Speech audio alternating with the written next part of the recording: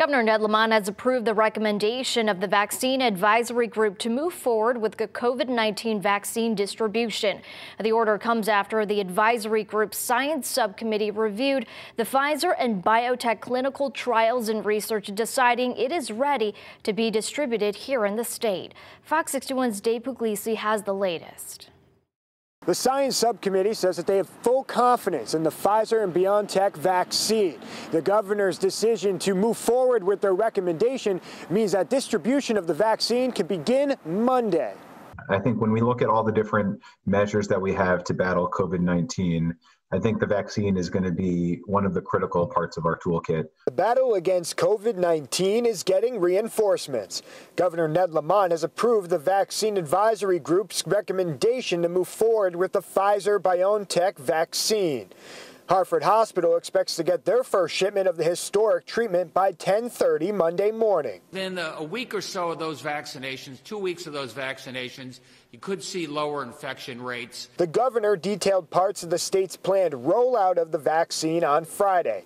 Phase 1A will include hospital staff fighting on the front lines of the pandemic and people in long-term care facilities. The governor releasing a statement Sunday night calling this a significant moment for our state and country.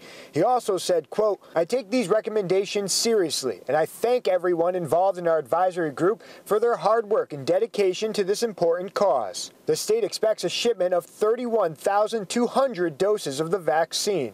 The federal government is working with the states to purchase and distribute the vaccine free of cost to the recipients. Experts say the vaccine's 95% is quite remarkable. They say while the manufacturing may have been rushed, the clinical trials were not. The part that wasn't accelerated uh, was the phase three, three uh, clinical trial. You know, that was a really robust trial, quite large um, and very well done. The state is working to educate the public on how to get the treatment.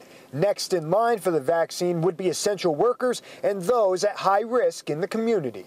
You know exactly how that's going to play out. You know, I think um, you know we'll get some more details uh, from CDC, and you know the state's uh, allocation program uh, will likely be um, contributing to some of that um, those final decisions. The vaccine isn't expected to be widely available until maybe June. Experts say until then it's important to still follow proper safety protocols, including wearing a mask. In Hartford, Dave Puglisi, Fox 61 News.